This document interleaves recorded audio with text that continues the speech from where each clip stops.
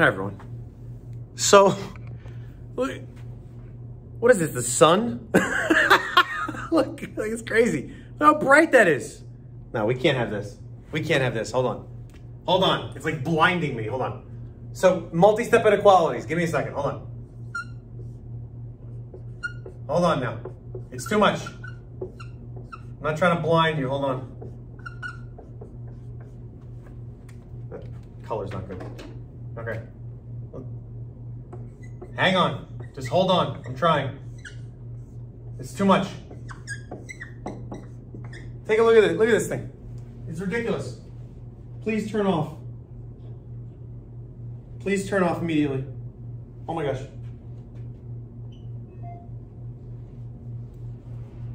Whew. That was a lot. Is that serious? All right. Hi. Apologize for the delay. I'm having all kinds of problems here. okay. Multi-step inequalities with a variable on both sides. Okay. So multi-step inequalities, it's another one of those math equations, right? Or math, um, not equations, it's a math sentence, sorry. It's late. okay.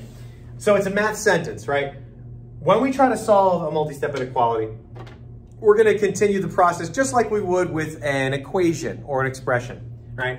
We're trying to get as far down as we possibly can. The inequality sign, this is a less than or equal to sign, I, I can do the same thing. I can kind of break it down into two equal parts, right? Now we're gonna distribute the eight just like we would. We're gonna pretend like this is an equal sign, easy peasy. The eight's gonna distribute to the negative five and the negative six m. So we've got a negative 40 minus 48m is less than or equal to negative 4m plus 4. Okay, now we're just gonna combine like terms by moving one uh, term to the one side. I always like to move the first thing I see, so I'm gonna add 40 to both sides. Draw a line, drop down, negative 48m is less than or equal to negative 4m plus 44, a lot of fours. Now I'm gonna take something from the right and move it to the left, so plus 4m on both sides. Okay, hopefully you can still see that. I don't know how low this goes. Okay, now I'm gonna have a negative 44m is less than or equal to 44. Okay, now this is where the golden rule of inequalities comes into play. And yes, it's called the golden rule.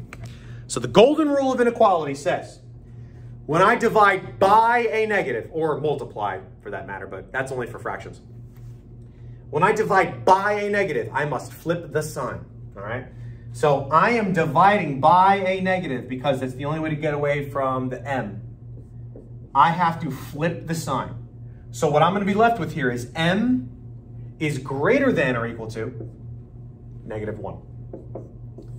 So that is the golden rule of inequalities. The golden rule says when I divide or multiply by a negative, I've got to flip the sign because otherwise I would be looking at the wrong side of the equal sign. Now, the next step really is to make sure we plot this on a line um, or like on a, on, a, on a linear plane. And because we only have one variable, it's on like a straight line, like one domain. So I'm gonna make a line, make a dash mark. Negative one is kind of the key point here or the key number here. And it's greater than or equal to, the arrow points to the right. It's a filled in circle because it's an equal to sign and it goes to the right. Now, what does that mean? That really means right there, and this means it too, but that right there means that every number, including negative one, that's greater than negative one, so every number in existence greater than negative one is part of my answer. So for an inequality, our answers are a range of numbers, not specifically one number like you would get in an equation, right? Or infinite answers or no answers like you would get in an equation. So this is our answer. This is completed done, right? So I'm gonna go through the second equation quicker. If you wanna pause me to make sure you get this just like we are gonna do here, you can go ahead and pause me and we can work it out. you thought you paused me. You didn't. That was just me pausing myself. Okay. Uh, 40n minus 30 is greater than negative 30 minus 7n. Draw this down. Uh, negative 40n, negative 30 uh, is greater than negative 30 minus 47n, plus 30 on both sides. This is a good one. I'm actually glad I did this one. Oh, gosh. Okay. Zero is greater than negative 47n. Again, I'm dividing by a negative, so the golden rule actually applies to both of these problems. You probably won't get it as frequently as I just did this, right? So negative 47 on both sides, I'm dividing by. And again, I'm flipping the sign. This one's actually interesting as well. So I'm going to get zero is less than n. Now, here is a problem. The problem is, is that our variable is on the right. That can't ever happen because you're gonna plot this on a number line and you're gonna make the arrow go to the left. That's not true.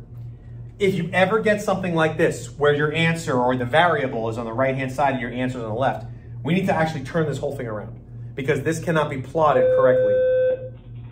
Mr. Stillwell, I am leaving a PTFA envelope. So we're actually flipping back. On the round table. And this is I, it's terrible timing. Minute's six minutes. Video six minutes. I didn't want to leave them out tonight. Final answer. The envelope will be in the front office. They'll probably ask for it. Zero. Have a good evening. Open circle to the right. Bye.